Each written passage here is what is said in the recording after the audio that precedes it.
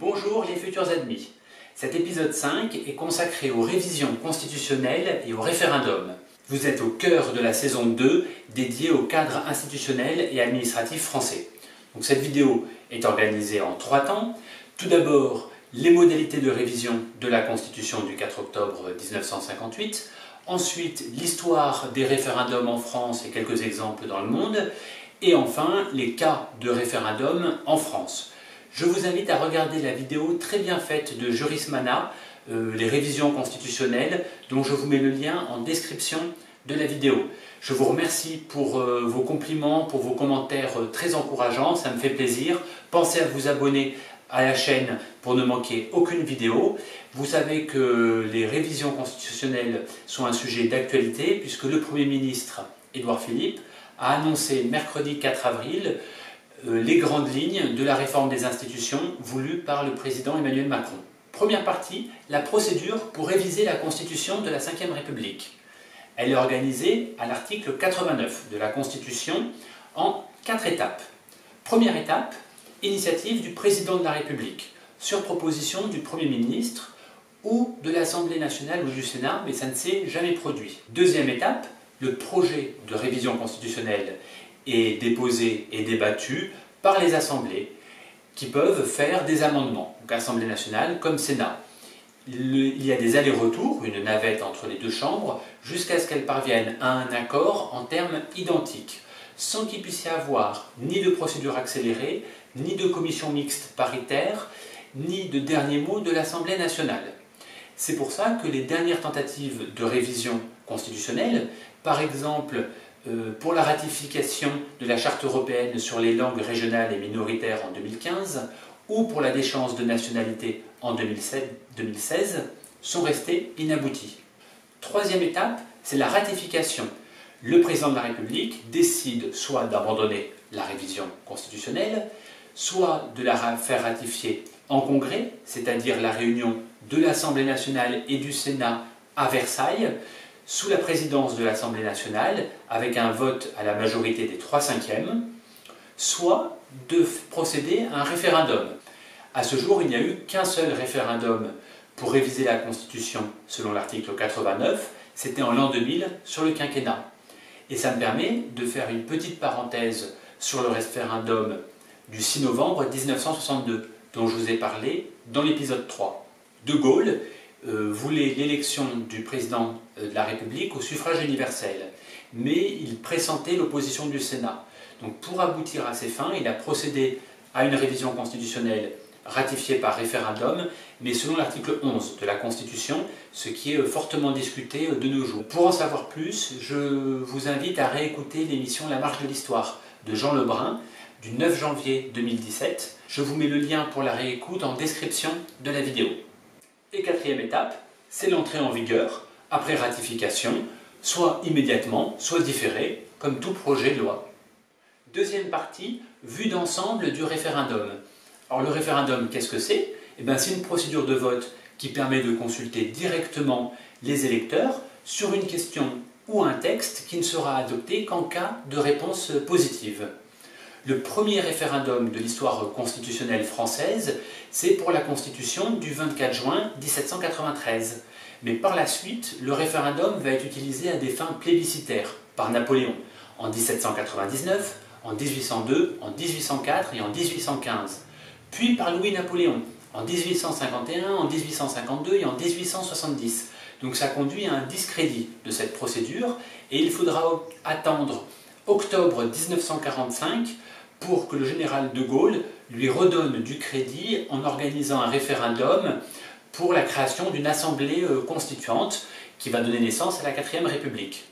Dans le monde, il existe des référendums sur des sujets euh, variés. Alors on peut citer par exemple en octobre 2003 le recall, c'est-à-dire la destitution du gouverneur de Californie Gray Davis pour Arnold Schwarzenegger.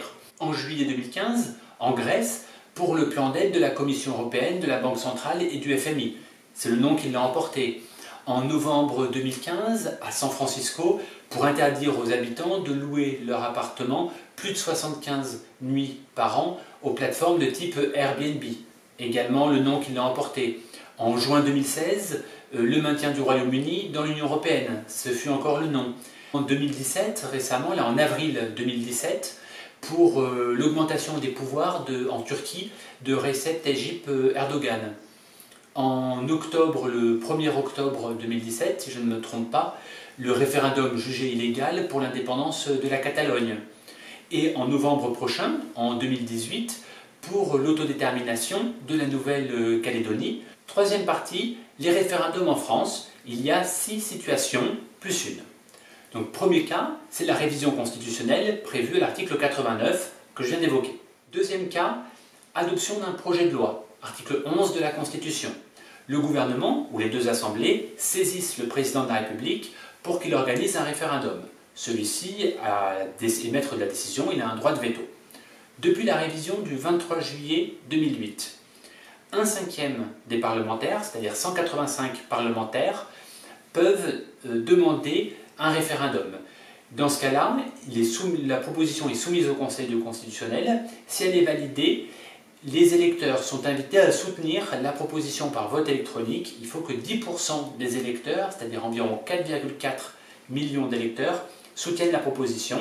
Et dans ce cas-là, le projet de loi est, validé par les deux chambres dans les six mois, ou alors le président de la République aurait obligation d'organiser un référendum. Troisième cas, c'est pour la ratification d'un traité. Exemple, le 29 mai 2005, le traité établissant une constitution pour l'Europe où le nom l'a emporté.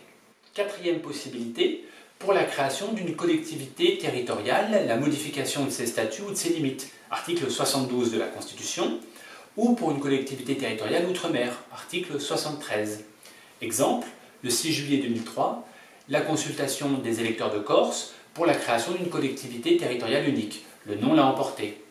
Autre exemple, le 24 janvier 2010, deux référendums simultanés en Guyane et en Martinique pour la constitution de collectivités territoriales uniques. là, c'est le oui qui l'a emporté.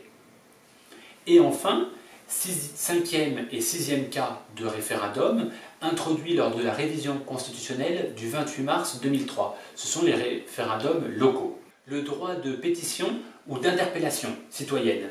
Il permet de demander l'inscription d'une question à l'ordre du jour des débats d'une assemblée, du conseil municipal, du conseil départemental, etc.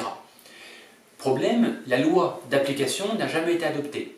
On doit donc se référer à l'article 1112-16 du Code général des collectivités territoriales et cette pétition doit être faite par un cinquième des électeurs d'une commune ou un dixième pour les électeurs d'une autre collectivité. Sixième cas, le référendum décisionnel local. L'Assemblée délibérante, donc le conseil municipal, le conseil départemental ou régional, soumet à ses électeurs une décision à validation au lieu de délibérer lui-même. Donc l'initiative revient à l'Assemblée délibérante, éventuellement sur proposition de l'exécutif pour ses compétences propres. Et le référendum ne peut porter que, nous dit l'article 72.1 de la Constitution, sur les projets de délibération ou d'actes relevant de la compétence de la collectivité. Contre-exemple, une collectivité ne peut pas organiser un référendum sur le droit de vote des étrangers, puisque cela relève du domaine de la loi. Tribunal administratif de Cergy-Pontoise, 23 février 2006. Impossible non plus d'organiser un référendum local pour voter la destruction d'une maison, puisque cela relève d'un acte individuel. Tribunal administratif de Limoges, septembre 2006. Il doit y avoir un délai de deux mois minimum entre la délibération votant le principe du référendum et l'organisation, et le référendum ne peut pas avoir lieu les six mois précédant une élection. Enfin, dernier cas, puisque je vous ai dit qu'il y avait en France 6 plus 1 cas. Eh bien, c'est le cas européen. C'est le référendum d'initiative populaire introduit par le traité de Lisbonne. Un million d'électeurs européens, issus d'un nombre représentatif d'États membres différents, peuvent solliciter la Commission européenne pour qu'elle organise un référendum. C'est l'article 11 du traité sur l'Union européenne.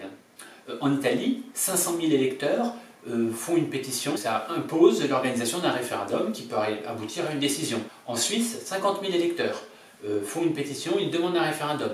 Et ça donne des référendums, par exemple, pour que nos enfants ne soient plus confiés à des pédophiles en 2011 ou contre l'immigration de masse en 2012. En conclusion, que faut-il retenir? En cas de révision constitutionnelle, tout d'abord, le pouvoir du Parlement est renforcé. La vidéo Jurismana que j'ai évoquée parle même de droit de veto. Deuxième chose, la ratification d'une révision constitutionnelle se fera soit par le Parlement réuni en congrès à Versailles, seulement si l'initiative émane du président de la République, ou alors par référendum devant les citoyens. Enfin, ce qu'il faut retenir, c'est que le référendum local aujourd'hui existe en France, mais que ce n'est pas un référendum d'initiative populaire comme il peut exister dans d'autres pays, comme en Suisse ou en Italie par exemple. Cliquez le petit pouce j'aime si cette vidéo vous a semblé utile et partagez-la autour de vous. Abonnez-vous pour ne rien manquer, mais surtout dites-moi en commentaire euh, dans les, de la vidéo ce que vous en avez pensé, si vous avez des questions, vos critiques, vos remarques éventuelles, euh, je serai heureux d'y répondre. Je vous souhaite à tous de bonnes révisions.